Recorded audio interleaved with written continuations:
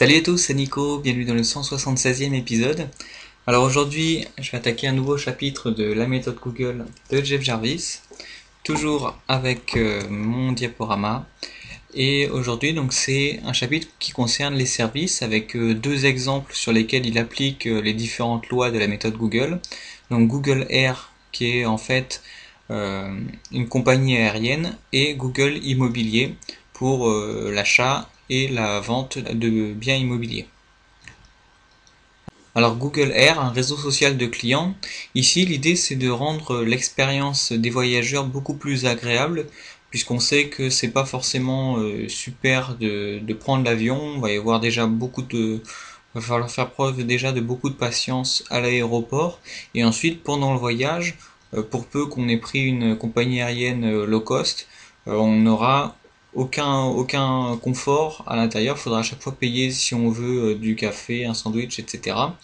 Alors là l'idée déjà pour euh, faire que le temps passe plus vite, c'est de proposer à bord euh, un accès internet. Ça c'est la première chose. Et ce qui suit, en fait, ce que propose l'auteur, c'est de créer un réseau social pour uniquement les voyageurs de notre compagnie, donc sur lequel on pourrait accéder à partir de, de l'avion. Euh, et bah, ça permettrait aux voyageurs de s'organiser, de savoir exactement qu'est-ce qui est agréable de, faire à la destination, euh, voir si on peut prendre euh, ensemble des taxis pour aller vers, vers nos hôtels, etc.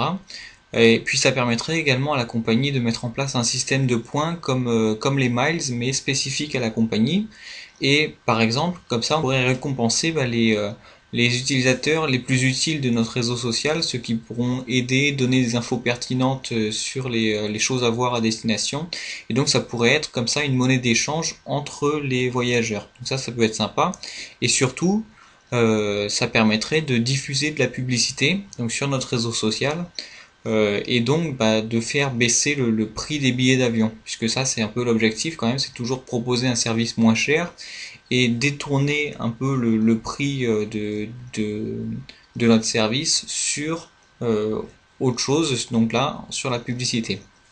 En fait, la, méthode Google, c'est de fournir des services gratuits, euh, mais quand même de diffuser de la publicité un peu partout, dans Gmail, dans le service de recherche, etc. Et donc là, bah, si on peut faire en sorte que tous nos, nos clients, toutes les personnes qui voyagent dans notre avion euh, vont sur notre réseau social, l'utilisent et euh, donc consomment cette publicité, bah, ça peut être très intéressant.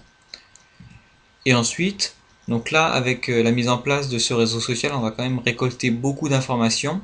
Donc toujours le, le conseil c'est de se mettre un petit peu en retrait, de ne pas être au milieu du réseau social, laisser la communauté s'organiser. Et donc, regardez euh, tout ce qui se passe, essayer de récolter comme ça des informations et les utiliser donc pour améliorer le réseau social, mais également le fonctionnement de la compagnie et euh, pourquoi pas proposer d'autres activités euh, aux destinations. Donc le second exemple, c'est Google Immobilier. Donc là, c'est pour l'achat et la vente de maisons, d'appartements.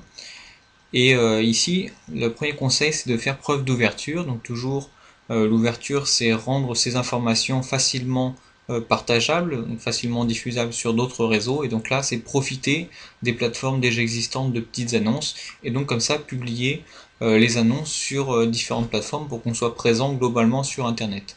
Donc là, il n'y a aucune limite. Par exemple, pourquoi pas créer des annonces AdWords pour diffuser l'information de la vente d'une maison.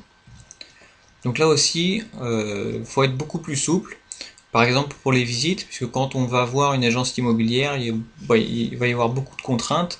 Et quelque chose qui est pas très utile, c'est de devoir toujours être euh, en permanence avec l'agent immobilier pour la visite des maisons.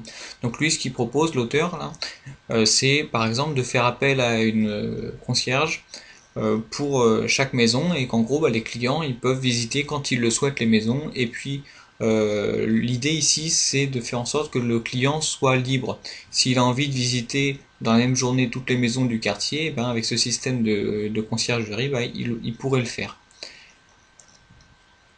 Et enfin, l'idée générale ici, c'est de ne pas chercher à uniquement vendre euh, le bien immobilier, ne pas vendre la maison, mais plutôt vendre l'expérience de vie. Donc aujourd'hui, on va trouver sur Internet différents outils qui nous permettent de savoir à peu près quel est le prix du mètre carré dans le quartier.